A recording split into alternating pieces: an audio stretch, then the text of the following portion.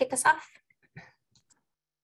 Absolutely. Good morning, everyone, and thanks for joining us. We're excited to have a big crowd of folks uh, this morning. My name is Michelle Probert. I use she, her pronouns, and I'm the director of the Office of MaineCare Services. And I am uh, pleased to have Commissioner Jeanne Lambrew here with us this morning, who is going to kick us off with a few words. Commissioner.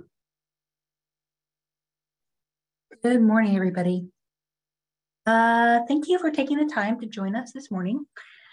Given the topic of this forum, I expect you are all participating out of a shared interest in preserving health coverage in Maine when we move out of the COVID 19 public health emergency. The U.S. Department of Health and Human Services Secretary Becerra and the Centers for Medicare and Medicaid Services, or CMS Administrator uh, Chiquita Brooks LaSure, will give all states 60 days notice before the expiration of this public health emergency. As we'll hear later, the earliest end date is likely January 11. As such, it is time to plan. Our capable team will spend this time walking you through and soliciting feedback on our plan and how you can help. But before talking about what is to come, I'd like to talk about where we've. I met many of you for the first time in January 2019 at the Ice Vault in Hallowell as we took on the governor's directive to expand Medicaid. Beth Ham, Tony Pelot, Dan Cohen, who are here today, as well as the other Office of Family Independence team, Leah, etc., were ready to implement at the department. But we could not have succeeded without you there helping to sign people up. I was brought to tears when one of you told me about a woman with lung cancer who enrolled in those initial days of the expansion, who for the first time had hope. We then turned to restoring eligibility for programs like the Medicare Savings Program and the Drugs for the Low Income Elderly. We improved behavioral health and reproductive health services in MaineCare in that first year. And under Michelle Probert's leadership, as well as that of the Office of MaineCare Services, we launched a comprehensive rate system evaluation, recognizing that access and quality care can only be provided when MaineCare payments are sufficient. They are inextricably linked. That plan is now law with significant improvements underway. We also recognize that MaineCare is part of our public-private coverage system and set to work to improve the affordability and accessibility of private insurance. One of the first laws signed by Governor Mills was LD1, which codified the Affordable Care Act's consumer protections, including those critical protections for people with pre-existing conditions. We engaged with you all in the summer and fall of 2019 alongside the Health Coverage, Insurance, and Financial Services co-chairs and committee to explore ideas to improve affordability. And in March 2020, with the dark clouds of COVID-19 pandemic overhead, with leadership from the governor, Beth Bosing in the governor's office, and the Bureau of Insurance, we got the Made for Maine Health Coverage Act across the finish line on a unanimous vote. Simultaneously at that time, we launched our COVID 19 pandemic response. It is hard to exaggerate how much work Maine put into keeping its residents and frontline workers safe during the pandemic. That effort has received high marks from independent organizations. For example, the Commonwealth Fund ranked Maine's performance the best in the continental US. We don't count Hawaii, but I think we're proud of our continental US uh, ranked number one and the National Bureau of Economic Review, uh, I'm sorry, National Business and Economic Review or NBER uh, analysis that looked at our overall response beyond public health gave Maine an A. And this is despite the fact that at the beginning of the pandemic, my colleague, Heather Johnson, the Commissioner of Economic and Community Development, flagged a study warning us that Maine was viewed as the most vulnerable state due to its older population and reliance on tourism. Despite that enormous effort, our work on improving coverage in Maine continued relentlessly. MaineCare created its own COVID 19 coverage option for the uninsured, independent of the federal program that started later and ended earlier. In 2021, we implemented reduced out of pocket costs for primary care and behavioral health care in our state insurance regulated plans. And in 2022, the Bureau of Insurance simplified copays and deductibles through clear choice standardized plans, which is a big relief to consumers who struggle to figure out how to shop with all those confusing deductibles and copays. Also in 2021, the CMS administrator came to Maine to announce the approval and to, approval for and celebration of the launch of CoverMe.gov.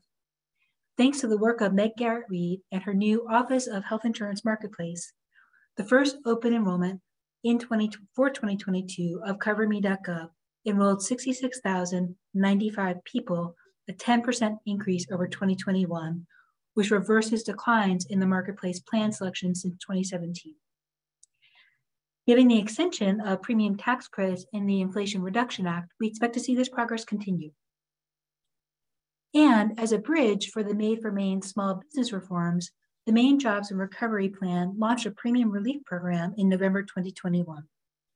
It is providing $50 per worker, more for families, to maintain coverage during the economic recovery for small businesses. Through August, the program has, served, has saved small businesses and their workers in Maine $20 million.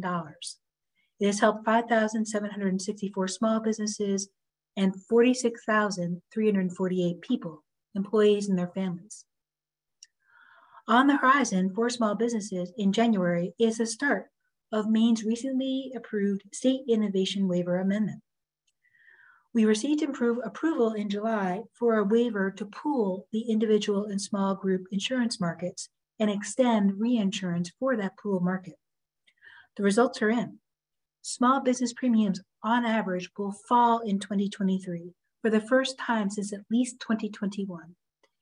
This is quant- this will save on average $860 per person in 2023 or more than $70 per month. This is against a backdrop of fairly large premium increases for small businesses in every other New England state. The last legislative session also produced um, also produced major improvements for the MaineCare system. This includes 12 months of postpartum coverage for women, coverage of immigrant pregnant women and children, an expansion of the Children's Health Insurance Program, and a long awaited comprehensive adult dental benefit in MaineCare. We will spend the morning talking about MaineCare, the maintenance of effort policy, and the changes coming in January. But I wanted to pause and say thank you.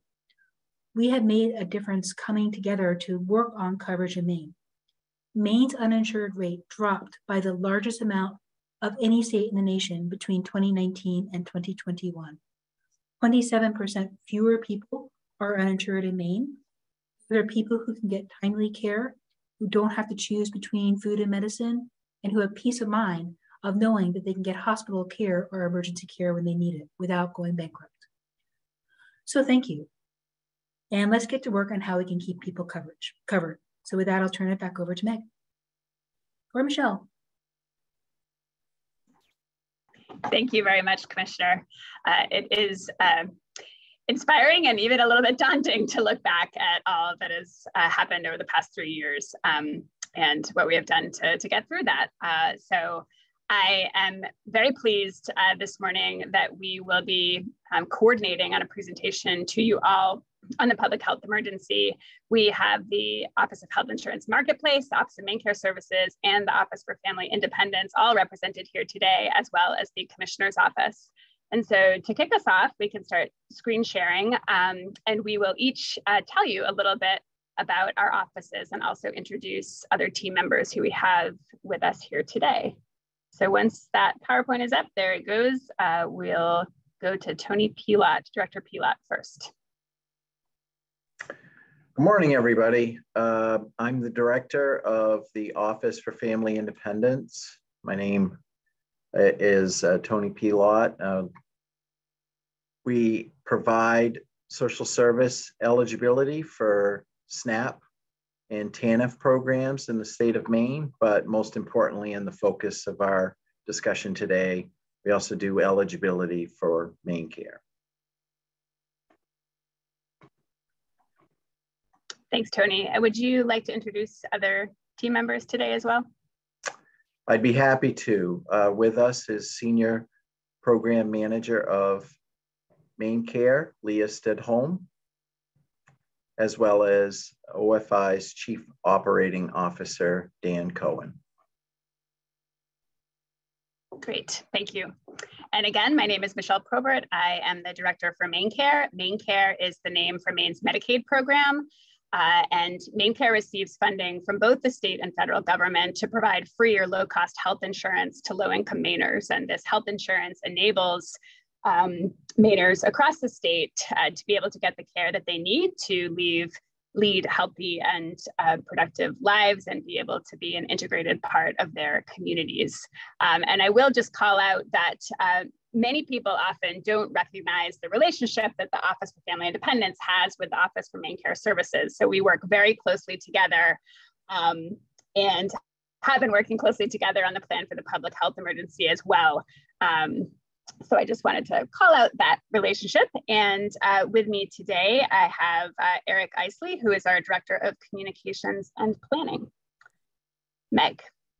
Yeah, good morning, everyone. I'm Meg Garratt-Reed. I am the director of the Office of the Health Insurance Marketplace. And as the commissioner uh, said, we launched last year, um, essentially replacing healthcare.gov as the platform for individuals and families uh, in Maine who don't qualify for other coverage like MaineCare or uh, coverage through their employer um, to come and apply for financial assistance from the federal government uh, and to shop for and enroll in a plan. So uh, we do also um, assess eligibility for MaineCare when individuals apply through our platform, uh, but really here today to talk about um, the options for a continuum of coverage for individuals who become ineligible uh, for MaineCare at the end of the public health emergency. Um, and joining me today is our Senior Advisor for Outreach, Emily Barson, who has been uh, running point on this effort for our office. Thanks. Thank you, Meg. And last but not least, uh, Beth, would you like to introduce yourself as well? Sure thing. Good morning, everyone. And my name is Beth Ham, one of three deputy commissioners here um, at the Department of Human Health and Human Services. And it's been my pleasure to work with this very competent and dedicated team on behalf of the commissioner's office as we um, as we work on the public health emergency unwinding. Thanks. Great. Thank you, Deputy Commissioner. All right, so for the agenda today, we have three main points that we are going to be going through. One, we're just going to talk about what is the public health emergency and why is that important to all of us and to the MaineCare members and individuals who we serve. Uh, second, we're going to talk about um, those implications, specific implications for Maine as a state, as well as for MaineCare members.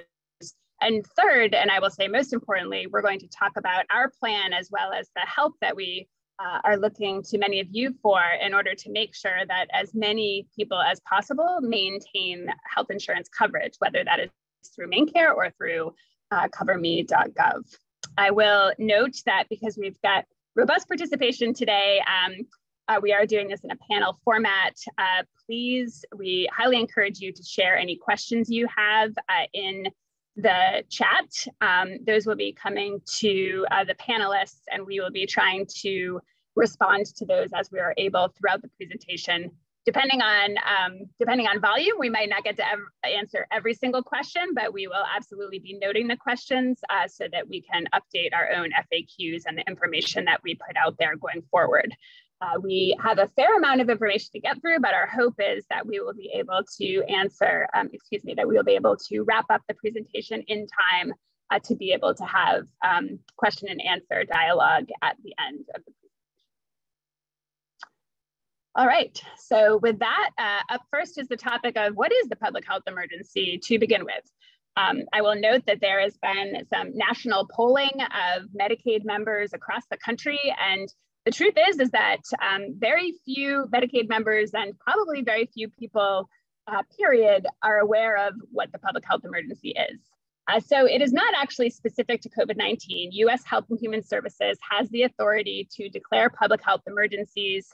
Uh, they uh, may do so, for example, in the case of a hurricane, and it is really a declaration that enables uh, greater flexibility as well as assistance to go to states in time of need. What was uh, a bit different about COVID 19 is that obviously it was a national and global pandemic. And so this was a, a nationally declared public health emergency that uh, the US Health and Human Services declared on January 31st, 2020. Um, public health emergencies, and I may say PHE for short, uh, because I'm used to doing that, um, uh, as a rule uh, and per federal um, statute, are declared for 90-day periods. That's that's the way that um, that they are set up, and so. Uh, at the end of 90 days, uh, if there is still a public health emergency, then uh, the PHE will get extended for another 90 days. And since the COVID-19 PHE was declared on January 31st of 2020, it has been continuously extended for 90 days ever since. Uh, so the commissioner noted in her introductory remarks that um, Health and Human Services has provided uh, their commitment and assurance to um, states and governors across the country that uh, they will give us at least 60 days notice before the public health emergency is going to end. Um, so technically, the 90 day period that we're in right now is set to expire on October 12th, 2022. But because we are uh, well within that 60 day window prior to October 12th, and there was not a notice um, of the ending of the public health emergency, there is broad confidence across the country that the public health emergency on October 12th is going to be extended for another 90 days um, at least. Uh, and so that would mean that at the earliest, uh, the public health emergency would end in mid-January of 2023. Um, and there is the potential that it could be extended again at that point. All right, next slide. So why, why is this public health emergency um, important and what does it mean? Um, so I'll give a little bit more background. So the Families First Coronavirus Response Act became law in March of 2020. Um, and it provided additional federal matching dollars to Medicaid programs across the country if Medicaid programs um, agreed uh, and demonstrated that they would meet maintenance of effort uh, requirements, also called continuous coverage requirements. So those maintenance of effort or MOE requirements means that um, even if individuals lose, uh, even if individuals, for example, um, got a new job and started receiving more income, uh, that would typically make them ineligible for Medicaid and they would need to be terminated from the program. During the public health emergency, states need to keep those individuals enrolled. And so it is very standard practice, and Tony will talk a little bit more about this, uh, that individuals who enroll in Medicaid, including MaineCare, um, need to regularly demonstrate that they are still eligible. And uh, if they don't respond to a request for additional information, um, or if they do respond and show they're not eligible, they usually will lose coverage. But since uh, the public health emergency, since the pandemic, that has that has not happened. Um, so there are very few circumstances that are exceptions. For example, if an individual, uh, a MaineCare member requests to be disenrolled, then we will disenroll them. If they pass away, uh, they are disenrolled. And um, if we know that they have changed residency to another state, then they are also disenrolled. But otherwise, uh, individuals uh, have not been terminated from coverage. We have continued to ask for updated information um, for renewal purposes. That is something that the federal government has encouraged all states to do. So we have as up-to-date information as possible, uh, but we have not um, acted on that information for part. Um, so I'll just I'll just point out that uh, it puts us in it puts all states in a bit of an awkward situation because on one hand we've continued to ask members to update their information and that it's important to get back to us, but on the other hand we haven't actually acted on the information that they've sent us, and so we've kind of set up a dynamic or an expectation that like it's really not that important. And when you also think about the fact that this has happened during uh, MaineCare expansion in the state of Maine, we have a lot of individuals who are receiving coverage through MaineCare for the first time. And so this just seems normal to them. Um, and I'll also state that national polling has indicated that uh, most Medicaid members across the country also don't realize that these are special circumstances or that anything has been different during the pandemic in terms of their ability to maintain coverage. So there's uh, the potential for a big disconnect between uh, what um, will happen at the end of the public health emergency, which we'll be getting to, and expectations of, of members. All right, so once the PHE ends, um, states are going to need to review the eligibility of every person who is enrolled in their Medicaid program. And for individuals who are no longer eligible or individuals who just do not respond, whether because they didn't get the information or because they chose not to respond, um, those individuals need to be disenrolled. Uh, the federal government has um, call this the unwinding. It is not my favorite term. I don't know who came up with it, not a marketing expert, I don't think, but uh, but it is broadly used across the country. So I think it's a little bit too late to fight back on that name. But this process of catching up with eligibility and disenrolling individuals who are no longer eligible is referred to as the unwinding. So once the public health emergency ends, states have 12 months from the end to make sure that they have started that redetermination process, the process of um, checking to make sure if individuals are still eligible for all enrolled members. And then there's a couple more months at the end there that states have in order to complete that redetermination process. So just as an example, because as a reminder, we still don't know when precisely the PHE is going to end, but if we um, assume that the PHE ends in January of 2023, we should hear in mid-November from the federal government um, if that is the plan to end the PHE uh, in January. If the PHE then ends in January, uh, then um, we will still need to uphold those MOE requirements where individuals need to stay enrolled until the end of that month, until the end of January. Uh, and then starting then, uh, there is a year for OFI, the Office for Family Independence, to make their way through everyone enrolled in MaineCare to check on their eligibility. All right, uh, I just wanna remind folks again, feel free to put questions in the chat and we'll try to respond to those as we are able. And I will turn it to Director Pilat to talk about implications for the state of Maine and MaineCare members. And just briefly, sorry to jump in, um, just to make sure it's clear, there's a Q&A um, function. I think the broad chat is um, disabled, but if you're looking in the bottom menu um, on your screen, you should see Q&A and that's where you can drop in a question um, if you'd like to pose one to us. Thanks.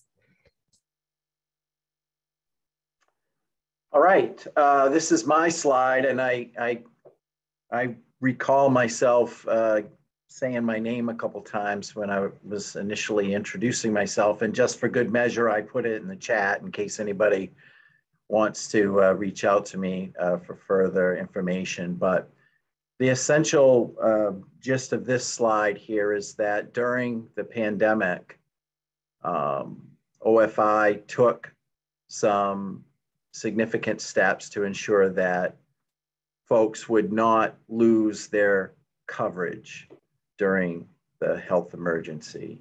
So when folks returned their reviews, we accepted what was put on the document returned to us without requesting any verification information from the individuals. We took a step to not penalize any households that didn't pay premiums on our premium programs like CubCare and Katie Beckett. And for COVID 19 individuals, we covered things like vaccinations and testing. So OFI took uh, significant steps to ensure that we retained as many individuals for coverage as possible through the pandemic health emergency, and we still do that. So what does that mean for, for OFI? Um, and the state of Maine. Over that period of time to date, we've seen a 34% increase in individuals on Medicaid coverage here in Maine.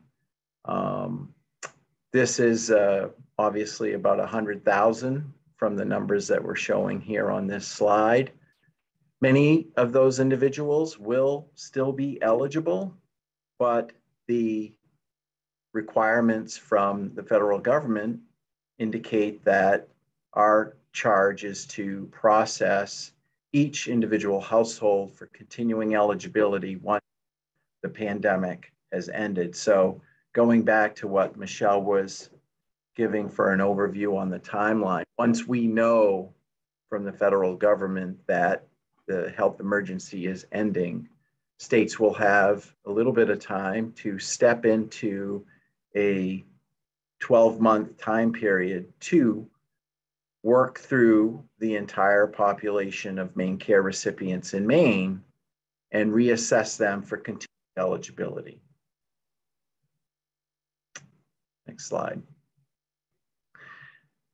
So we have 12 months to review all, the entire population for MaineCare. Um, and so what OFI is proposing is to work through the individual caseloads that we have and based on the established redetermination dates for those coverage groups, we will be sending out recertifications to households to have information provided that is current and reassess eligibility for that household.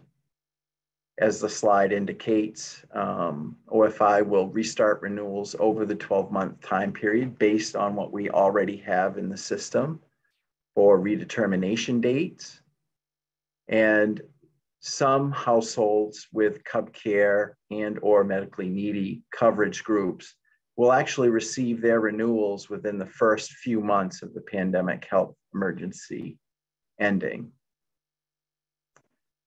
The reality is, is as we process these recertifications, there will likely be some MaineCare members that will lose coverage. Um, if we don't have updated contact information, you may not receive the notice. If we request documentation and it's not returned in the time period required, um, we may have to close your MaineCare coverage. And even if the outcome for MaineCare coverage for your household is to close those benefits, you will still have the opportunity to apply for insurance assistance through coverme.gov. So yeah, as Tony noted, um, you know, certainly some uh, risk for uh, members losing coverage at the end of the public health emergency. So having covered um, the obligations of uh, the Office for Family Independence, um, we also wanted to take some time covering the actions that we're taking um, to try to prevent that from happening um, in any case when an individual uh, is eligible for coverage. So um, just to, to sort of review, as Tony noted, ensuring uh, up-to-date contact information for members is extremely uh, important important and we'll cover some actions we're taking um, to try to encourage and facilitate that. Um, also taking additional steps to try to maximize retention among individuals who remain eligible for MaineCare by ensuring they have the information that they need about um, renewal steps. Um, and finally, additional steps that uh, the coverme.gov and the Office of the Health Insurance Marketplace are taking for those individuals who are no longer eligible for MaineCare um, to help them transition into other forms of affordable coverage if they need it. Um, so I'll hand it back. I think the next slide is, is uh, diving in a little bit more uh, into actions um, being taken to update contact information for members.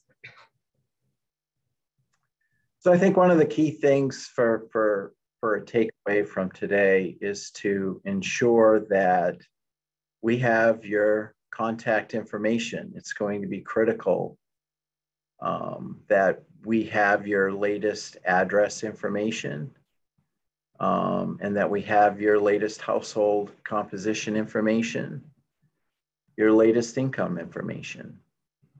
But it all starts with being able to communicate with you.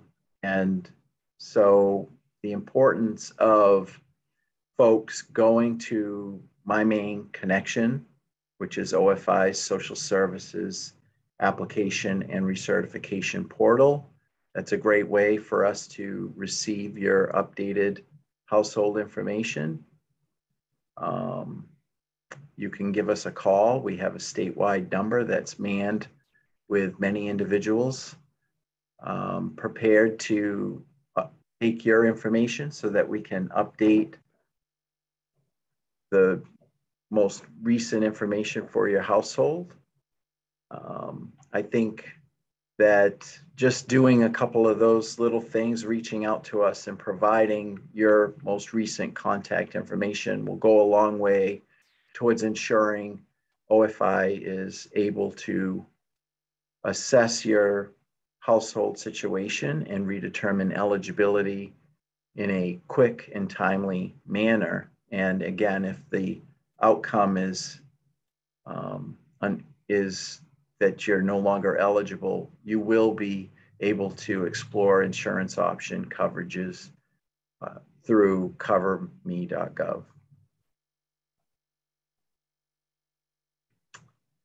And uh, one thing that we're doing to ensure that once we've sent out re redeterminations to households that folks are alerted to the importance of the document is the renewal form will be mailed in a blue striped envelope. And um, we spent many weeks and, and of and many hours with study groups to come up with the tagline if it's blue it's time to renew. Um, that that is a joke, of course, um, but uh, we put some thought into the to what is going to be critical. If you see this document with the blue stripe on it, please open it, please review it, and complete it timely and return to the office in the self-addressed stamped envelope that will be included you can also go online and do your renewal. That would be even faster. Um, and that's at www.mymaineconnection.gov. So here we have a renewal timeline that if the pandemic health emergency ends as um, as what we were expecting you can see that the renewal reminder notice would go out in January. And then the form itself would go out in March.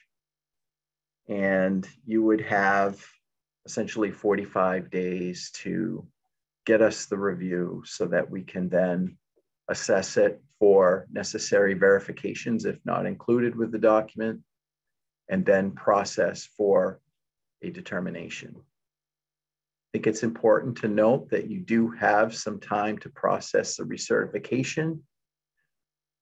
However, the sooner the better. We, as we saw from an earlier slide, there's a significant amount of individuals that are on our MaineCare population that will need to be reviewed.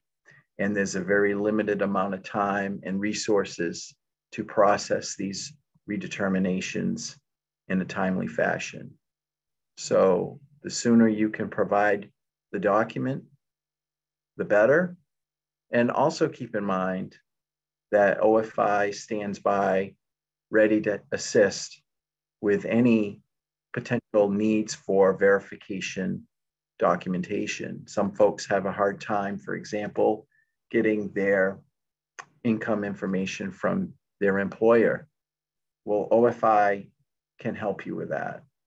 It is our charge to help you as much as we can to complete the redetermination for your MaineCare eligibility.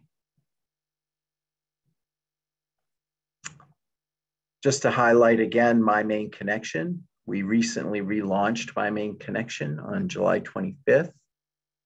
And I believe we're, we've signed up a significant amount of new users through the online service. It's there for you to apply for benefits, not just for MaineCare, but all programs. You can also do recertifications through My Maine Connection, and you can check on status. You can update information about your household. You can upload documents. I think that this will be a great avenue for folks who are looking to quickly provide the information necessary for us to do and MaineCare eligibility redetermination.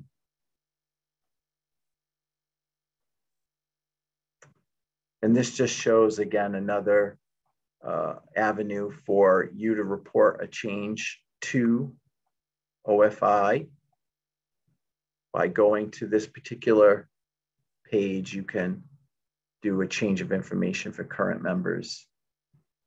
And it's three very simple steps for you to pr provide the latest information about your household. Again, contact information. We're going to continue to highlight this, but updated phone, address, email information for your household is critical. And that will ensure that we're able to communicate with you and provide you the necessary documentation to ensure you do not lose your health insurance coverage. I'm going to jump in for a quick second just to answer some of the Q&A questions uh, related to the renewal process. So one of the questions was that if we received renewals during the public health emergency and they reported an income that was over, are they going to be automatically disenrolled or are they going to receive a brand new renewal? So every single MaineCare member is going to get a, um, a new renewal. So they will have an opportunity to provide updated information to us uh, before we make any new determination on their eligibility. a couple seconds. There's a couple questions about when we're going to start um, sending out notices. So as soon as we're informed of when the public health emergency is ending, we are going to immediately start telling the people that are up for renewal first um, that they are going to be coming up for renewal. So we'll be sending them a letter telling them, hey, look, be on the lookout for this blue striped envelope. Um, your renewal month is whatever month it is. Uh, and then the renewal form will be mailed out um, in that blue striped envelope for them to return. It is super, super important that we emphasize um, we need to make sure that renewals come back timely. As soon as they get them, they need to come back to us because if we have them, it ensures that we're not closing their coverage as we're processing it. If it comes in late, uh, there's a chance that the coverage will end automatically because we didn't get it back in time. And then there was a couple questions about the plan for renewals, when we're going to send renewals out, who's going to be renewed first.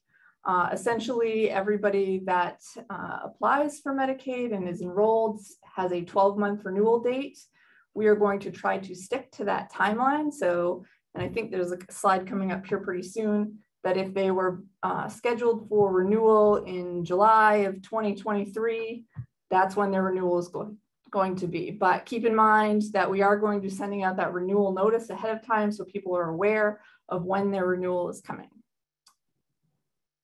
And I think I'll save the rest of the Q&As for later so I can work through them.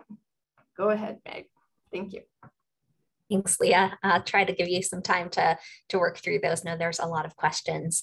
Um, so I wanted to give a quick overview of coverme.gov, um, acknowledging that we are still um, somewhat new to the state of Maine, and there may be folks on the call who aren't familiar with what we do. Um, as I mentioned earlier, we offer a platform um, for folks to apply and enroll in coverage, which is um, commercial uh, insurance coverage through private health insurance companies. So we don't administer the coverage ourselves. but what does set coverme.gov apart is that all of the plans offered um, on our platform have to meet standards for quality and comprehensiveness of coverage. So if you work with um, patients, with consumers, you may have encountered folks who have gone online and Googled health insurance, found something that looks like a really good deal, um, only to find when they were seeking care that there were um, loopholes, you know, lots of fine print um, for what the plan does and doesn't cover. Um, all the plans offered on coverme.gov have to uh, cover 10 essential health benefits. So really the full range of expected services that folks are looking to access um, through their insurance, they can be very confident when they shop on coverme.gov that they are going to um, have that coverage. And uh, now with the new clear choice designs that have been introduced, um, also much simpler to compare options, um, really understand uh, the features of each plan um, and be able to shop based on the, the price of the plan monthly and the network as well. The other um, really important feature that sets us apart is that CoverMe.gov is the only place to apply for federal financial assistance um, that can make most make both the premiums um, for plans, so the monthly cost uh, that patients pay, um, as well as out-of-pocket costs in uh, many uh, cases more affordable. Um, really important, I think, particularly for a population of individuals who may be coming um, from MaineCare, may not have been paying um, out-of-pocket costs when seeking care when they had MaineCare, that um, through CoverMe.gov, especially folks sort of with incomes between 100 up to 200, 250% of the federal poverty level can get help to really significantly lower their deductible deductibles, their co-insurance, their co-pays. Um, another great feature is that uh, just this year, um, additional federal financial assistance was extended through the Inflation Reduction Act through 2025. Um, so folks who previously didn't qualify, um, some higher income individuals, uh, those um, over 400% of, of, the poverty level um, who are uh, older and still had really unaffordable coverage, didn't qualify and they do now. and really importantly, also across the board, coverage or financial assistance is more generous for coverage than it was was previously. So um, we have many, many people um, through coverme.gov who pay as little as one or $2 a month um, for the coverage that they have through the marketplace. Um, and just to sort of add, eligibility um, through the marketplace really kind of picks up where MaineCare uh, leaves off uh, for members. So um, depending on eligibility levels and, and, situations, in general, if someone's just over that financial um, eligibility limit for MaineCare, they'll be able to come to us and find um, quite affordable insurance. And we always want to emphasize that because I certainly hear um, from folks who say, you know, what happens, there's sort of a cliff you drop off and really want them to know, even though we're a different program, you know, we're here for those individuals um, and ready to help and really want to make sure that they're aware of coverme.gov um, and, and able to come over uh, to us if they need us. Um, on the next slide, have just an overview of special enrollment periods. Um, so CoverMe.gov is different than MaineCare in that we are not um, open and can't accept applications from everyone all year round. We have an open enrollment period um, that uh, typically runs November 1st to January 15th for um, annual coverage. But outside of that time, um, individuals can come in and apply if they've experienced what we call a qualifying life event, making them eligible for a special enrollment period loss of MaineCare becoming ineligible because of changes in circumstance um, already does qualify uh, for one of those special enrollment periods known as loss of minimum essential coverage, which right now is available for 60 days before and after uh, the loss of coverage date. Um, but in light of the public health emergency end and you know the volume of consumers that are going to be experiencing this, as well as potential confusion caused by the change and the fact that they've been receiving renewal notices previously that haven't been acted on, we're going to be extending uh, that window for consumers losing MaineCare specifically to 90 days uh, before or after the uh, date of the event, just to give a little bit more time, particularly again, if someone is unaware, if they've missed a notice um, and, you know, maybe find out that they've lost coverage only when they visit a provider um, that will give some extra flexibility there. Um, and that special enrollment period will be available via self-service through coverme.gov, meaning that they won't need to call our consumer assistance center. They can select that life event and should be able to enroll if they are within um, the valid dates. We also uh, this year have another special enrollment period um, that's newly available as of uh, this year, 2022, um, for individuals who uh, are um, have income below 150 cent at or below 150% of the federal poverty level. So as we have here about $19,000 for an individual or just under 40,000 for a family of four um, that can allow them to enroll at any time of the year if they are eligible for advanced premium uh, tax credits, that financial assistance that I discussed, um, which gives a little bit of added flexibility. Again, if someone is just over, um, you know, that threshold for Medicaid eligibility, they can come um, to us uh, even if, you know, they're outside of the 90 days. The one thing I'll add on this slide is uh, just to be aware, um, both these special enrollment periods um, have an effective date of coverage, which is the first day of the month following the date that a plan is selected. Um, so the coverage is not retroactive um, or available immediately when someone applies. Um, I think that can, you know, create some risk of um, gaps in coverage for individuals, certainly. So we really encourage people who may be ineligible for MaineCare if they know that uh, review or renewal is coming up to sort of be on top of it if they are able to, to come to us and apply um, right away and, and try to avoid that um, gap in coverage. I will say if you um, have an individual who experiences that gap um, because of, you know, again, a missed notice or, um, uh, you know, just having uh, become aware right towards the end of a month, um, you can call our call center and check in with them about an exceptional circumstances special enrollment period to potentially allow for a different effective date, but that will be the standard is first day of the month following uh, the selection of a plan. And we'll be taking a few actions um, to really try to encourage this population who may be eligible through coverme.gov um, to come back to us and to apply. Um, I will say, uh, just to add one thing, when an individual um, is found ineligible for MaineCare um, because of income or other changes in eligibility factors, their account is transferred over to coverme.gov. Um, so we receive an inbound account transfer. Much of the application will be populated with information that was entered in their MaineCare application or their renewal renewal forms, any up-to-date information that OFI has will come to us. Um, and individuals can claim uh, those accounts and sort of find that application just by creating an account um, with the same primary member who uh, applied for MaineCare. Um, so very simple in a household of one, but if you are working with a family, then having them make sure that the same individual who was kind of the primary applicant through MaineCare um, creates the account through coverme.gov will make sure that they're connected to that existing application. Um, they will need to go through it and just resubmit um, to receive a determination with us, but it helps to expedite the process because they won't have to enter all of their information from scratch.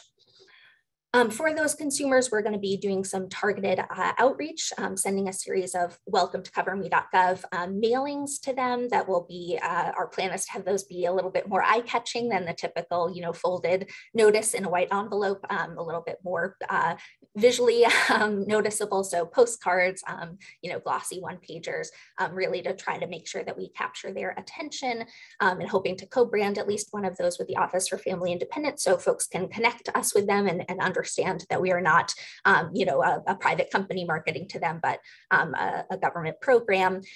Um, and we'll also, uh, to the extent we're able to, based on the availability of contact information, as well as some um, issues we're working through in terms of um, consumer permission, uh, planning to send follow-up emails, um, texts, and hopefully some phone calls as well um, to those consumers if we haven't heard from them after the mailing campaign to again encourage them uh, to come in and, and seek coverage from us. It's an unusual situation for us to sort of know of an audience of individuals who were fairly confident have lost coverage coverage, fairly confident need coverage. And so we really want to make sure we do everything that we can to, um, you know, capture their attention, bring them in and have them submit an application with us so that we can get them enrolled.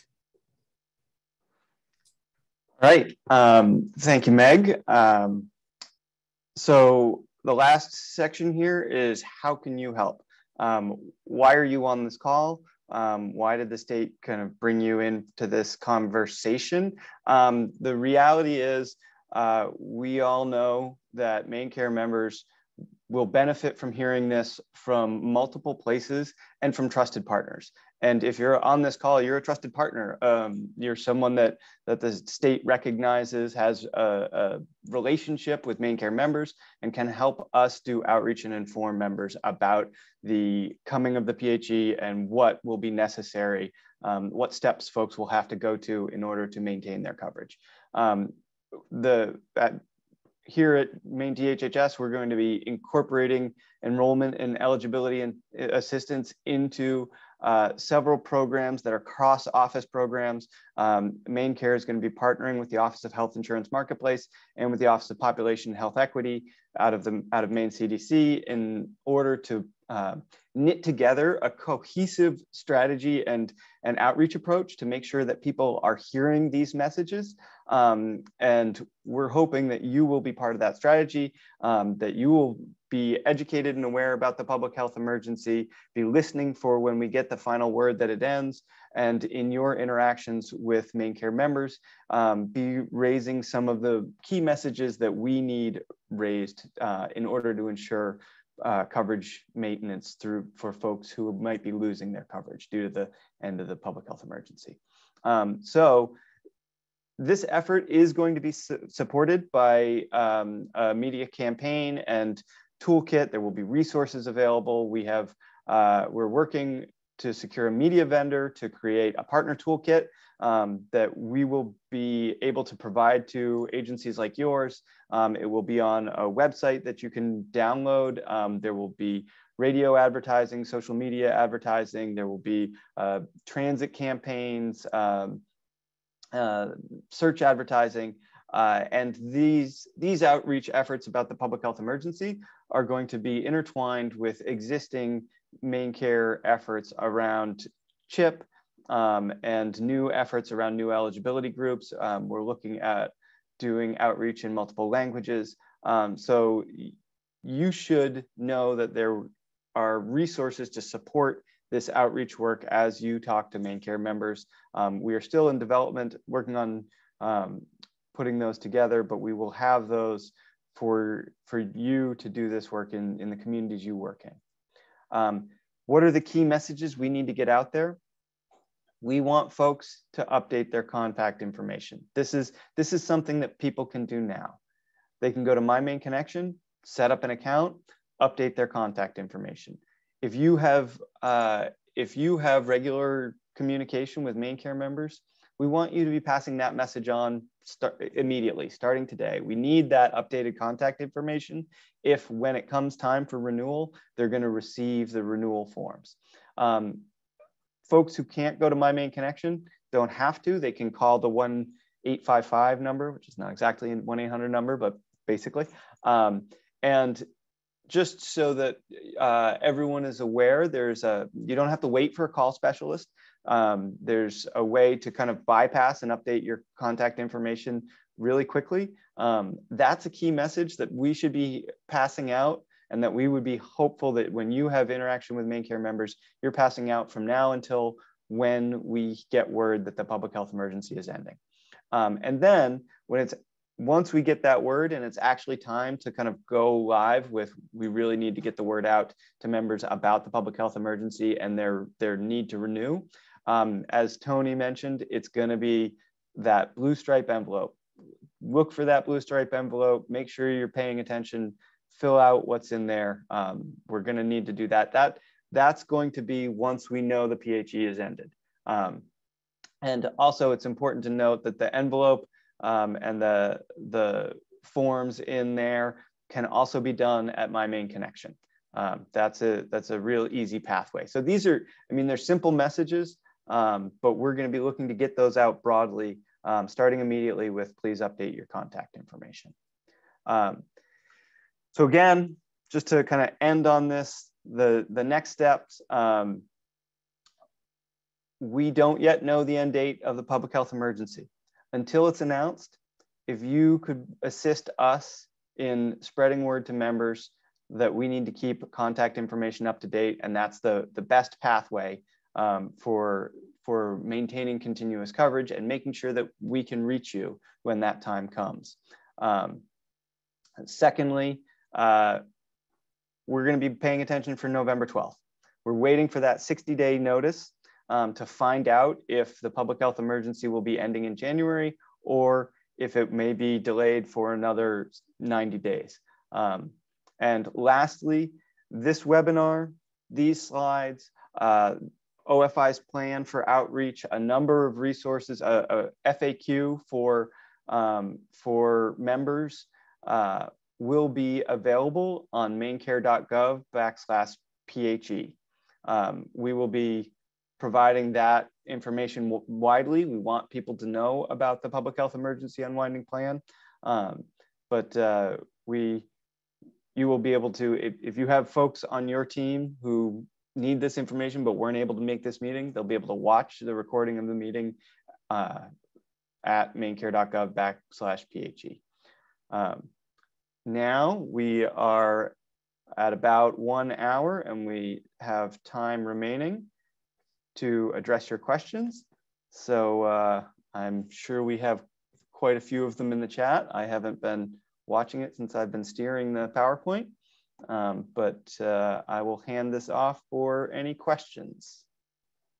Eric, really quickly, I'll just I just wanted to note that um, the website, the mainecare.gov slash PHE, Um, I don't think that is live right this second, but we are expecting it to go live uh, very shortly. So if you go and it doesn't take you to where you're expecting, um, I would say try tomorrow um, is, is your best bet. We are uh, in the process of making sure that that goes live. Thanks, Michelle. I was going to jump in. There was one question about the um, process of account transfer um, from OFI to coverme.gov and asking if that only applied um, if individuals had used MyMaineConnection um, to process their review. Uh, that's not the case. Anybody um, with a MaineCare, um, with MaineCare membership, MaineCare enrollment, if they're disenrolled, we would get that account transfer. It comes from sort of the back end ACES system over to us. So regardless of the pathway that someone took to initially apply or to complete their renewal, we'll receive that information from them if uh, it's transferred to us.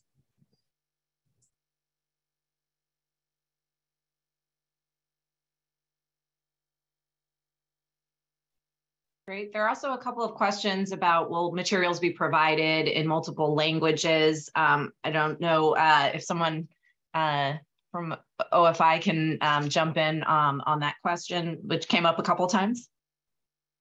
Sure. Um, I've been answering some of those questions in the chat. So, um, but just to let everybody know, the eligibility system does not currently have a mail option that allows for customization to primary languages other than English. What will happen when we mail out a review and we know that your primary language is not English, there will be a interpretive services document included with the review that provides information on how to contact uh, in interpretive services that are provided by OFI. One option, however, is you could go to My Maine Connection if you get your review, and Dan can speak to this a little bit more if if people want, but I believe that our new My Maine MyMaineConnection does allow for multi-language um, information to be displayed. So you using the Google browser, for example, you would have the ability to select your primary language to review the materials in, in that way. Um, Dan, is that more to add to that? Yeah, I can add to that briefly. That is accurate. There is, you know, the, the new MyMaineConnection supports the, you know, various browsers translation services. We recognize that that is not um, perfect, uh, and in some cases substantially short of perfect. There is also, however, a panel at the top of the new MyMaineConnection um, in a number of different languages that our clients speak that pops out a prompt in their language, their their uh, chosen language uh, about how to access translation services for free through us to help um, with various activities that they may be doing. Um, in addition to those things, and, and this was covered briefly in one of the slides, I wanted to note that we're hoping to roll out to supplement the different noticing um, campaigns that we would ordinarily um, at least email, but also potentially text message outreach to all the members for whom we have that type of contact information for. Um, so if we have the email address of somebody and we know that their native language is Af-Somali, for example, we are providing that message in actually translated service to the top, I think, four languages spoken beyond English that we are aware of. So in the, the two, two messages we're preparing to send are uh, to basically to coincide with the quarterly message saying, hey, you know, the public health emergency is over. Make sure you look out for a recertification um, in the next several months and respond with with um, with that filled out. That's going to go in email at least, uh, and potentially as well in text message, um, as a complement to what we're sending in paper in paper mail.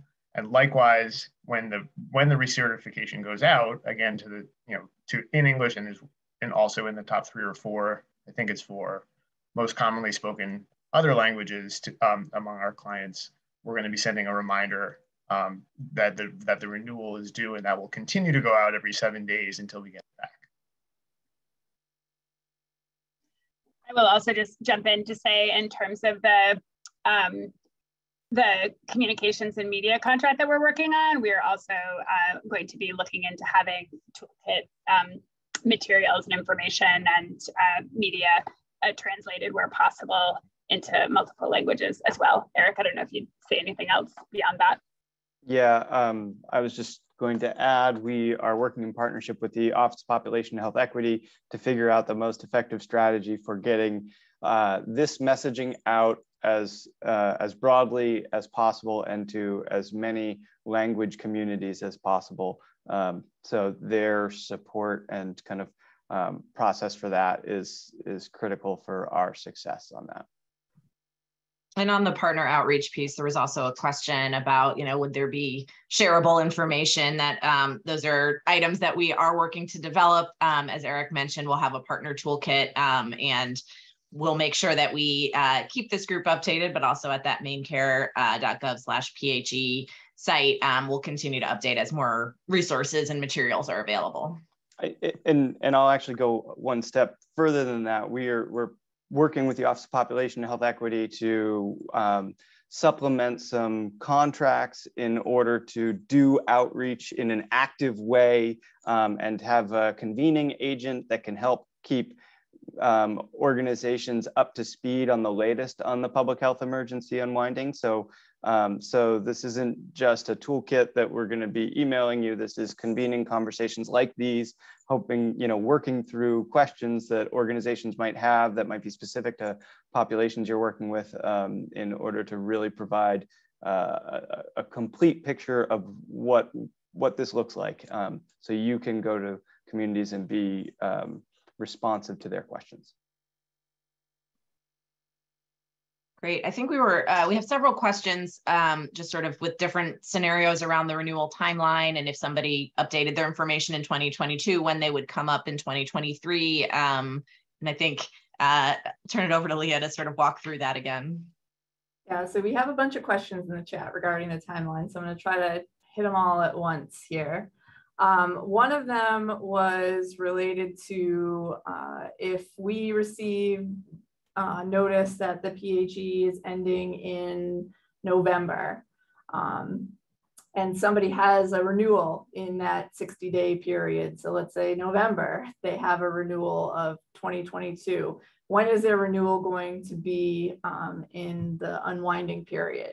So they're still going to get their November renewal, the November 22 renewal. Uh, that's their opportunity to up their, update their contact information, give us anything else they need to tell us but their actual renewal deadline for the, the PHE will be November 2023. So their coverage will continue until November 2023 if their um, renewal is scheduled during that 60 day notice period. There were a couple other questions about the timeline. So um, for this example specifically, if somebody has a renewal due in April, which is means we have to get it back by April 30th, and they send in their information the following month, a day late, um, what is going to happen to their coverage?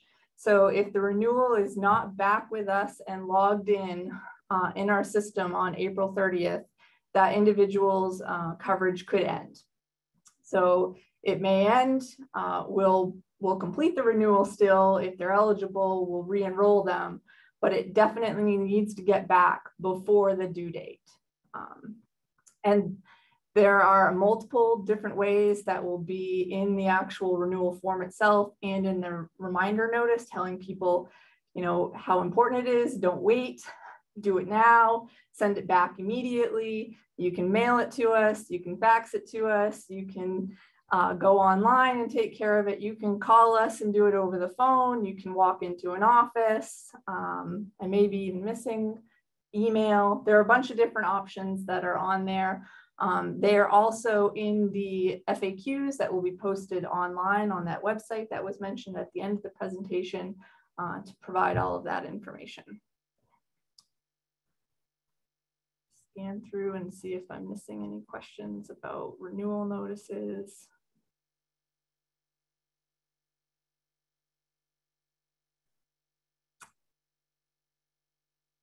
don't see any additional unanswered questions about renewal notices. We want to take some of the other ones right now. We have time.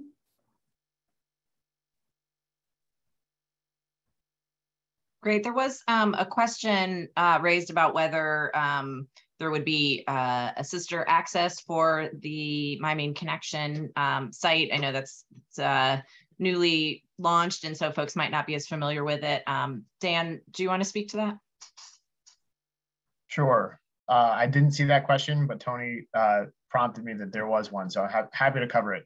Um, we are working on a, a second um, deployment of the My Maine Connection site that will make a for a pretty robust uh, additional level of access to assisters um, and authorized representatives to manage cases for a number of people. Um, that is something we're, we've done a lot of work on it. we have got a lot more work to do so that the eligibility system itself can accept that information I'm currently targeting next summer to, to roll that out, which is certainly um, late for the public health emergency unwinding, but it's as early as we can implement it. Great, thank you. Um, there are a couple questions about when um, copays will start, whether that's with the end of the PHE um, or what the timing for that would be. Uh, so the copays are generally supposed to start at the end of the PHE. We did or are requesting a waiver from CMS to wait until the actual renewal is due. So as long as that is approved, um, copays for individuals such as Katie Beckett, uh, CubCare, um, uh, SBW or special benefit waiver plan, those types of groups, uh, sorry, not copays, premiums will be um, uh, started when they do their final renewal. Uh, for copays, Michelle or OMS, can you answer the question about copays? Um, I can say that the copays uh, would start no sooner than the end of the public health emergency. Um, I will note that uh, there was a budget initiative to end copays for FQHCs um, and RHC visits. Uh, so just as a note, um, there, there will, uh, uh, those copays um, will not be turning back on. Um, uh, we are, I also want to clarify that not all copays have ended during the public health emergency. So we'll put together a more precise communication on, on timing with copays, um, generally speaking. Great, thank you. Um, on the communication, um, forms of communication side, someone um, has asked if someone created an account on My Maine Connection and opted into text and email reminders only, will they still receive the blue stripe envelope in the mail? No. Good. So if, if someone selects uh, e-noticing uh, for the Maine Connection portal, the same as with the old portal, they, they will get um, all key messages from us except for a couple things that have different privacy levels um, through that channel. So they'll be reminded that there is a message there or be alerted that there is a message there via text or email, and then they will need to visit the site in order to get their renewal.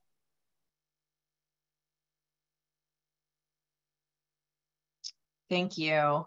Um, there is a question about MaineCare eligibility of adult asylum seekers. Um, I'm not sure if anyone uh, is prepared to speak to that.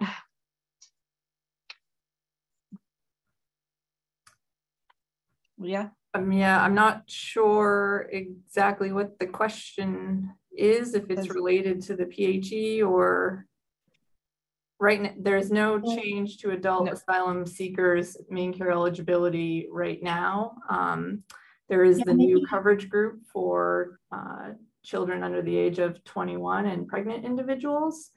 Um, but I, I, don't I don't know of any of the changes to the asylum seekers for adult.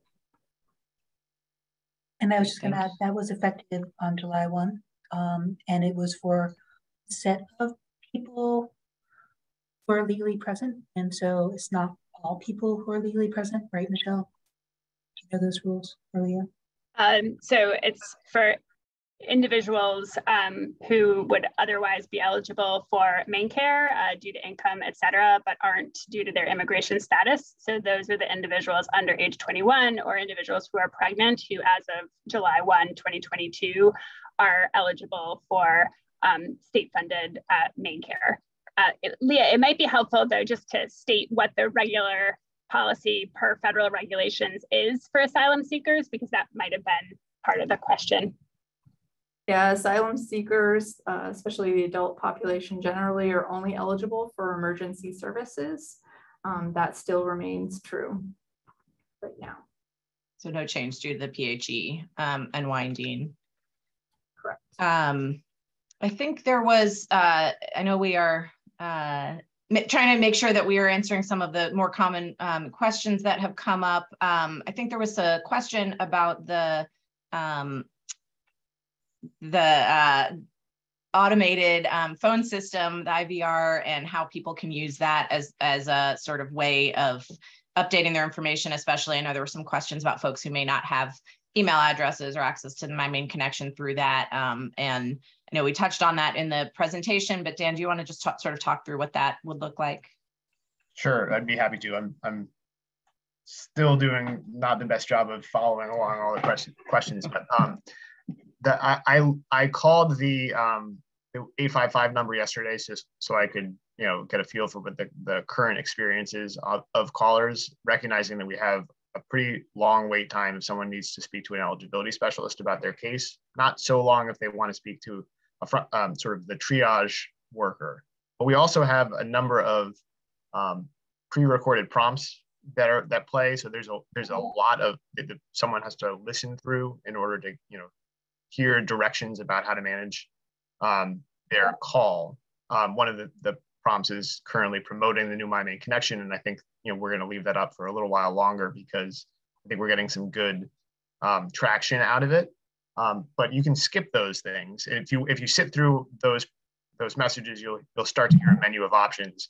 Um, and the if you so if you press one on your keypad, it'll take you to the IVR system, uh, and it'll prompt you to uh, enter the last four digits of your social security number, so it can connect you to the, the case and that and, and then follow the prompts um, to update, for example, your address that way without having to speak to anybody live at all.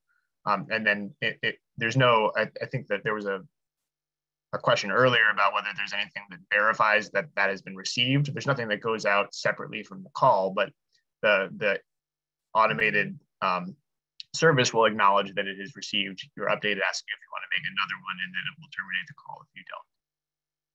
I hope that answers the question.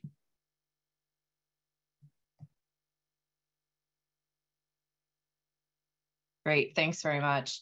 Um, I know there are uh, a number of uh, a number of other questions that I think many of which have been um, addressed in this presentation. Um, so I'm also trying to concurrently scan um, and make sure if there are um, options uh, or information that we haven't already shared. Um, I think I would just say uh, live update, hot off the presses, um, mainecare.gov slash PHE is live. Um, so great um, to have that um, information available. Um, there were a few questions about whether this these resources would be shared. Um, that'll be the place that we will keep updated sort of throughout, both with um, resources and materials with those toolkits that we've talked about. Um, and uh, as there's more data, of course, as we get live into the PHE, we'll, we'll look to continue to keep um, all of you, our trusted partners, updated um, through that site um, and make sure that we uh, that we are trying to be responsive both to the need for materials for outreach as well as um, you know assistance in answering um, any questions that arrive.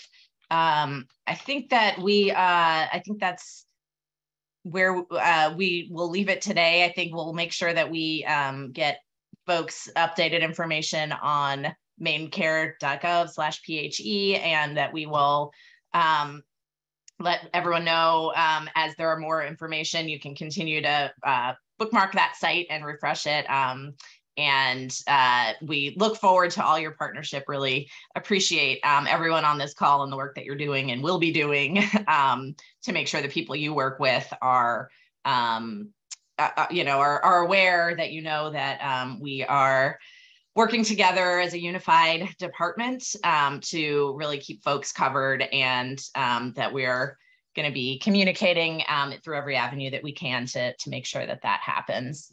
Um, so I think with that, um, I don't know if there's any final remarks um, from anyone, but I think we just want to thank you all for joining today and, and for the partnership going forward. Yep, this is Jeanne. I'll just say thanks in advance. We'll be calling on you all for help as we go through this process. These partnerships will be essential to make sure that Maine people affected by unwinding know their options. So again, we have a lot of work ahead of us, but hopefully with good planning, good communication, we'll meet this challenge and maintain coverage in Maine. So thank you all.